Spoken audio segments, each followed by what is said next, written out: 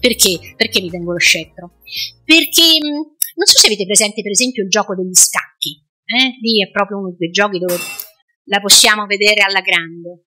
Allora, lo sapete che nel gioco degli scacchi il re, con tutta la simpatia per i re presenti in questa sala, lei c'è una sola mossa da fare, mentre noi possiamo andare dappertutto. Non è fantastico? E allora mi tengo lo scettro.